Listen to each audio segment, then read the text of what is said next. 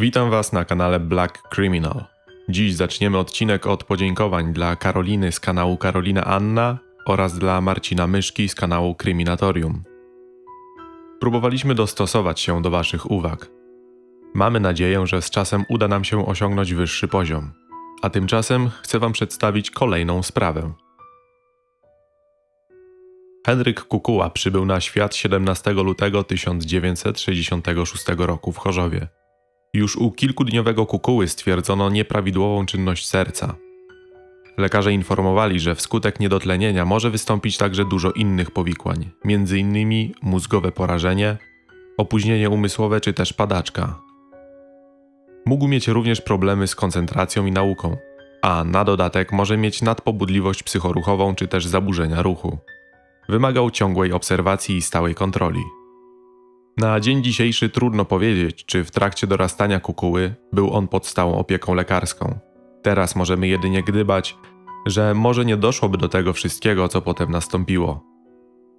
Henryk Kukuła wychowywał się w centrum Chorzowa. Sąsiedzi, którzy go znali, nie mieli przychylnej opinii o nim, a mianowicie wypowiadali się o nim, że był bardzo zaczepny w stosunku do innych dzieci, notorycznie ich podskubywał i obmacywał.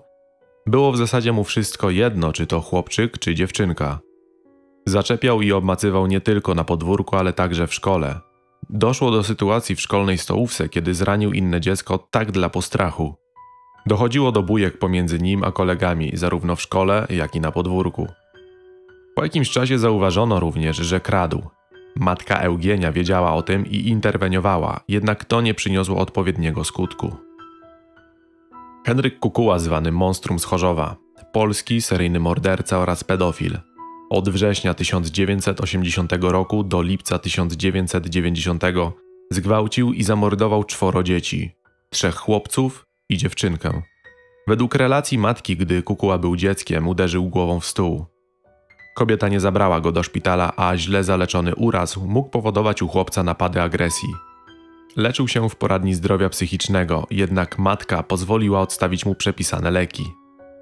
Rok później, 23 września 1980 roku, gdy miał 14 lat, zamordował pięcioletnią dziewczynkę, którą znał. Wraz z grupą innych dzieci bawili się w chowanego na podwórku jednej z chorzowskich kamienic.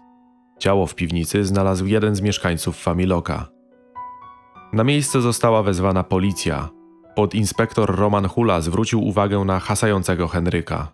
Spojrzał wtedy raz jeszcze, jak tak biegali i hałasowali, i zawołał chłopaka do siebie. On wówczas zachowywał się wesoło, podskakiwał. Hula od razu zapytał zupełnie intuicyjnie: czemuś to zrobił? Czternastolatek zaczął wtedy nerwowo deptać w miejscu z nogi na nogę, obgryzał paznokcie i wypowiedział wtedy słowa: Ale ja się z nią tylko bawiłem, wchowanego żeśmy się bawili, nic złego nie chciałem zrobić. Hula więc powiedział, aby zeszli do piwnicy i żeby pokazał, jak to było i co zrobił. Kukuła wtedy pokazał, jak zamordował pięcioletnią Karinę S. Powiedział, że dusił dlatego, że zaczęła się drzeć. Obdukcja lekarska wykazała, że pięciolatka miała obrażenia pochwy i rozerwane drogi rodne. Młodego mordercę umieszczono w zakładzie wychowawczym w Krupskim Młynie. W czasie pobytu w ośrodku skatował na śmierć dziewięcioletniego Radka, syna wychowawcy. Miał mu wówczas zaproponować wspólną ucieczkę. W każdym razie ich spotkanie 10 stycznia 1984 roku zakończyło się bójką, choć w sumie trudno mówić o bójce, skoro różnica między nimi sięgała 9 lat. Radek nie miał praktycznie żadnych szans, żeby przeżyć. Chłopiec padł na posadzkę, a wokół niego pojawiła się kałuża krwi. Wtedy dla pewności, że chłopiec zmarł, osiemnastoletni kukuła kolanem przydusił jego klatkę piersiową. Po tym zdarzeniu, jak gdyby nigdy nic, osiemnastolatek wrócił do obierania ziemniaków. Za zbrodnię został skazany na 15 lat pozbawienia wolności. W więzieniu został pobity i zgwałcony przez współwięźniów, co miało go do reszty zdemoralizować. Wyroku jednak nie odsiedział. Na mocy amnestii z grudnia 1989 roku wyrok obniżono do 10 lat. W kwietniu 1990 roku Kukuła opuścił zakład karny. Nikt się nim nie przejmował, że w każdej chwili może zrobić komuś ponownie krzywdę, a nawet zabić. Kilka miesięcy później, 28 lipca, ponownie dopuścił się najgorszego. Zamordował i zgwałcił dwóch braci: siedmioletniego Roberta i pięcioletniego Radka. Jednego zabił, wpychając mu dłoń do gardła, drugiego udusił paskiem. Zwłoki chłopców w lesie znajduje kobieta, która wracała z kościoła. 28 lipca 1990 roku chłopcy bawili się między blokami. Na przystanku autobusowym podchodzi do nich mężczyzna, zadając pytanie: Chcecie ze mną rozpalić ognisko? Gdy oddala się z chłopcami w kierunku lasu, babcia starszego chłopca woła go z okna. Chłopiec krzyczy, że niedługo wróci. Jest około godziny 15.30.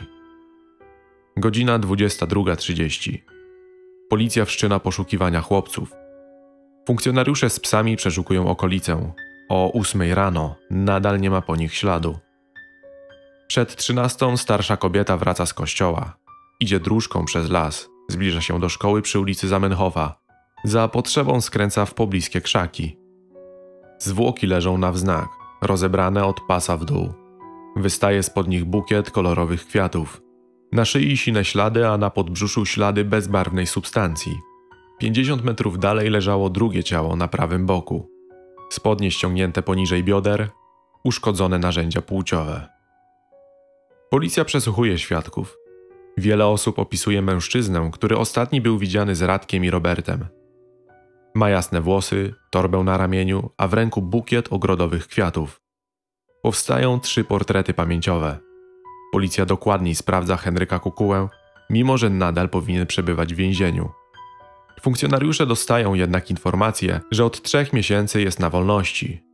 Najpierw na mocy amnestii karę złagodzono mu do 10 lat, a następnie warunkowo zwolniono.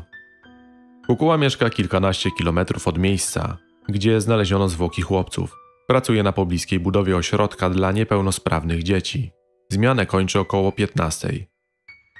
Gdy policjanci wzywają go na przesłuchanie, na dłoniach ma ślady ugryzień. W czasie przesłuchania Kukuła mówi o tym, co zrobił chłopcom. Opowiada ze szczegółami. Siedziałem po przeciwnej stronie od chłopców i tak myślałem, co mam robić. Przyszła mi myśl, że w Rawiczu zostałem pobity i zgwałcony. Nie rozmyślając, usiadłem między nimi. Roberta wziąłem między nogi, ręką chwyciłem, a Radka za gardło. Za te zbrodnie został skazany na 25 lat więzienia. Do wyroku doliczono mu 3 lata i 9 miesięcy pozbawienia wolności, które pozostały do odbycia z wcześniejszego wyroku. Dodatkowy rok pozbawienia wolności Kukuła otrzymał za napaść na strażnika więziennego. Podczas rozprawy sądowej stwierdził, że chyba znowu by zabił, gdyby mógł. Biegli wtedy nie mieli wątpliwości, że ma zaburzenia, które w przyszłości ulec mogą jedynie pogorszeniu. Kukuła w jednej z rozmów z psychologiem mówi: Po co o tym mówić? Stało się. Z głupoty się stało. Coś mi strzeliło do głowy. Jak gwałt był, to oni już nie żyli. W szoku byłem. Najpierw wesoło było, rozmawialiśmy, wygupy takie różne były, oni śmiali się. Potem siusiali i wtedy na mnie to przyszło. Jak wróciłem do domu, wcale o nich nie myślałem. Stało się i już. Nigdy wszyscy nie są zadowoleni. Dyrektor zakładu karnego, w którym Kukuła przebywał, złożył we wrześniu w sądzie wniosek w tej sprawie.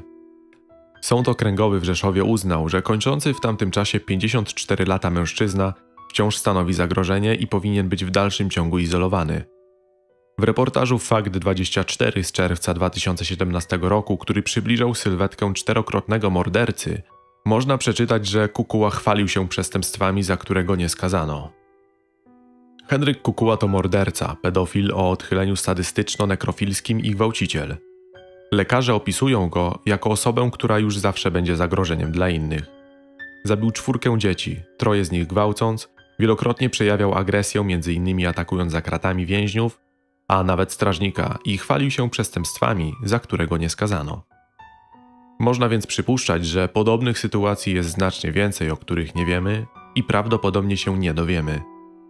16 maja 2020 roku opuścił zakład karny i decyzją Sądu Okręgowego w Rzeszowie zostanie objęty tzw. Tak ustawą o bestiach i resztę życia najprawdopodobniej spędzi w Krajowym Ośrodku Zapobiegania Zachowaniom Dysocjalnym w Gostyninie.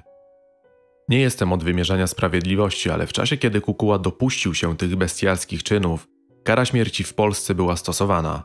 Moim zdaniem potwór, taki jak on, który bez najmniejszych skrupułów mordował i gwałcił swoje ofiary, zdecydowanie zasługiwał na karę śmierci.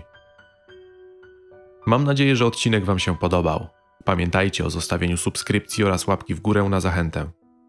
Do usłyszenia w następnym odcinku.